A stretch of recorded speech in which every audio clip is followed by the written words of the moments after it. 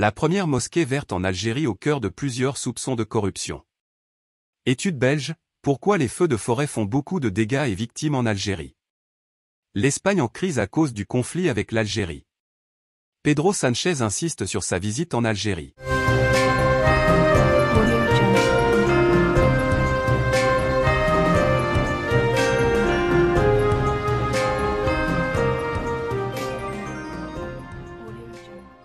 La première mosquée verte en Algérie au cœur de plusieurs soupçons de corruption. L'Algérie s'est lancée officiellement dans la construction d'une mosquée verte au niveau dans la nouvelle ville de Sidi Abdellah située à 40 km de la capitale Alger.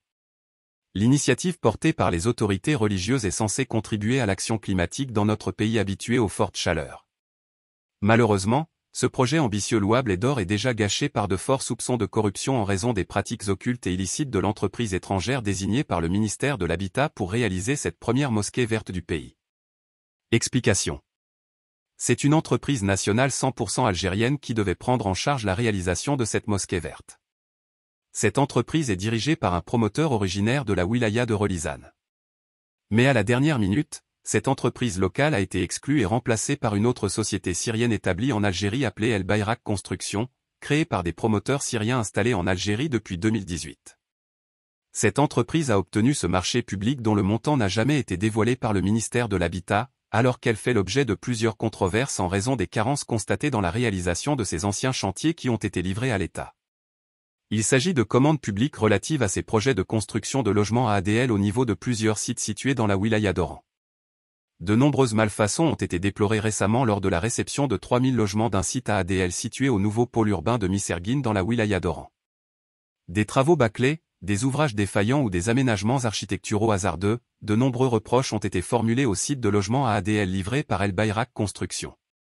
Or, malgré ces controverses, le ministère de l'Habitat a offert sur un plateau d'argent le marché de la première mosquée écologique à cette entreprise algéro-syrienne, dont les principaux actionnaires entretiendraient des liens d'amitié avec plusieurs membres de l'entourage de l'actuel ministre de l'Habitat, Mohamed Tarek Bellaribi. Plusieurs sources contactées par Algérie par pointent du doigt un favoritisme flagrant ou intéressé et suspectent des pratiques de corruption à l'origine de ce traitement de faveur étrange dont bénéficie El Bayrak Construction. En attendant, Rappelons que cette mosquée verte de Sidi Abdellah repose sur des techniques permettant d'économiser l'électricité à 50% à travers l'exploitation des énergies renouvelables, l'amélioration de l'efficacité énergétique et l'économie d'eau par l'autorecyclage, selon les explications données lors de la cérémonie de la pose de la première pierre. Cette mosquée, dont le délai de réalisation est de 24 mois, s'étend sur une superficie globale de 8200 mètres carrés avec une capacité d'accueil allant jusqu'à 6000 fidèles, 4000 hommes et 2000 femmes. Le projet comporte trois étages, un rez-de-chaussée qui peut accueillir jusqu'à 2500 fidèles, un premier étage, 1500 fidèles, et un deuxième étage réservé aux femmes d'une capacité d'accueil de 2000 fidèles. Un parking pour 50 véhicules est également prévu. Il abrite un minaret de 47 mètres de hauteur et plusieurs structures dont une salle de conférence, une bibliothèque, une école coranique et deux logements de fonction pour l'imam et le muezzin. La mosquée sera dotée d'un système de climatisation centrale et d'équipements audiovisuels modernes. Une étude réalisée par une université belge explique pourquoi les feux de forêt font beaucoup de dégâts et victimes en Algérie. La lutte contre les incendies et feux de forêt en Algérie est pénalisée par le manque criant de moyens mis à la disposition des secouristes de la protection civile en Algérie. C'est pour cette raison que ces sinistres font beaucoup de victimes et de dégâts matériels dans notre pays. C'est la principale conclusion à laquelle a abouti une étude réalisée par l'Université de Liège en Belgique. Cette étude intitulée La forêt algérienne face au changement global nous révèle de nombreuses déficiences qui empêchent des actions efficaces pouvant limiter les dégâts des incendies ravageant chaque été des milliers d'hectares et provoquant depuis 2021 des dizaines de morts. Le manque de moyens et d'effectifs constitue un réel obstacle dans la lutte contre les incendies. De fait, avec 50% de machines non opérationnelles et près de 70% trop faiblement équipées, seuls 300 des véhicules tout-terrain sur les 961 sont réellement équipés contre les incendies, le parc roulant peut être qualifié de vétuste. Et il en va de même pour le personnel dont les effectifs demeurent insuffisants suite au départ en retraite qui n'ont pas été remplacés, indique à ce sujet cette étude menée par des chercheurs de la Faculté des sciences, département des sciences et gestion de l'environnement de l'Université de Liège en Belgique. La même étude a relevé aussi de nombreuses carences qui empêchent la réussite des interventions des secouristes contre les feux de forêt. Une fois que les feux sont détectés, l'intervention reste limitée par le relief accidenté voire très accidenté où les pentes dépassent les 70% ainsi que par l'absence d'accès au massif, explique ainsi cette source selon laquelle l'ouverture de pistes requiert en effet la mobilisation de moyens importants et même quand elles sont ouvertes, les plateformes de pistes sont souvent détruites par les orages de fin de printemps. La même étude conclut enfin que les feux de forêt en Algérie se propagent plus rapidement qu'ailleurs dans le monde en raison du climat sec et la végétation méditerranéenne pyrophile. Ces départs de feu semblent d'ailleurs être en augmentation depuis 2010 et il en va de même pour la période de risque qui se prolonge avec le réchauffement climatique, note en dernier lieu cette étude universitaire belge.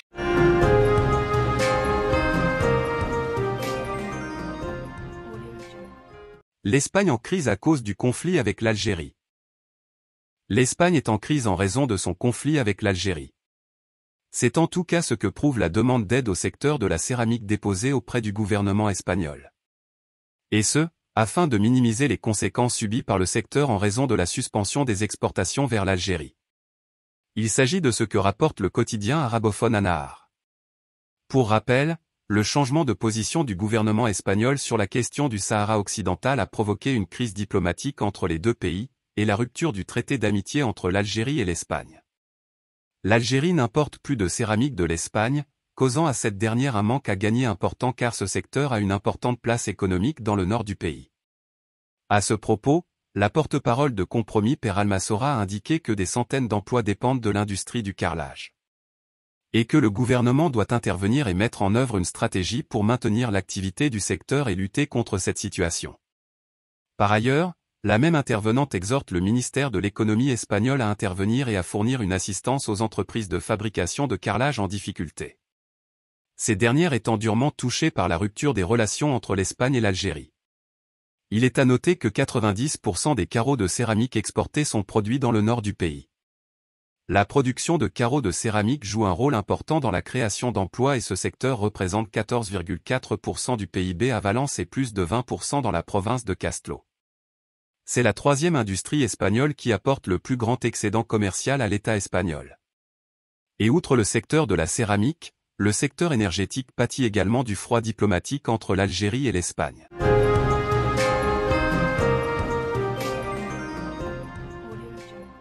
Pedro Sanchez insiste sur sa visite en Algérie. Le président du gouvernement d'Espagne, Pedro Sanchez, n'en démord pas, il tient absolument à être reçu par l'Algérie en vue de relancer les relations bilatérales qui, depuis des mois, sont au point mort.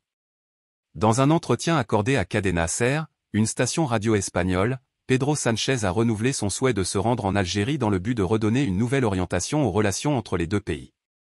Cependant, il a évité de trop s'étaler sur les dessous de la discorde ainsi que sur les efforts diplomatiques consentis par son pays pour rétablir des relations normales avec Alger. Ce n'est d'ailleurs pas la première fois que le chef du gouvernement espagnol exprime son souhait d'être reçu par Alger. En date du 30 août 2022, au cours d'une réunion sur la question de l'énergie avec le chancelier allemand Olaf Scholz, à Merseburg, Allemagne, Pedro Sanchez a déclaré « J'aimerais être celui qui ira en Algérie ». L'Espagne, à en croire les manœuvres de son chef du gouvernement, semble prendre le contentieux, dont l'origine est son soutien au projet d'autonomie marocain au Sahara occidental, très au sérieux. En effet, L'insistance de Pedro Sanchez sort légèrement de la déontologie diplomatique et dénote de l'intérêt que l'Espagne tend à réparer ses relations avec l'Algérie. Il va de soi que le gaz algérien est au cœur de cet intérêt, notamment à la lumière des dernières évolutions, dont la plus importante est les perturbations, souvent voulues, de l'approvisionnement de l'Europe en gaz russe. En effet, les spécialistes de tous bords prévoient un hiver froid pour l'Europe, et le gaz algérien, les pays européens ne l'ont que trop bien compris, est à même de l'adoucir. La question qui se pose est la suivante, est-ce que l'Algérie va céder au clin d'œil ibérique répétitif?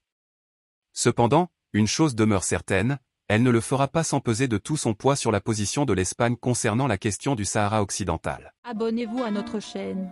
Cliquez sur la cloche pour rester au courant de l'actualité algérienne.